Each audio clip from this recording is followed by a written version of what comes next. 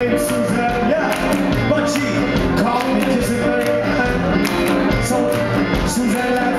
So did But then I was a lonely man again. And I was to stay home alone.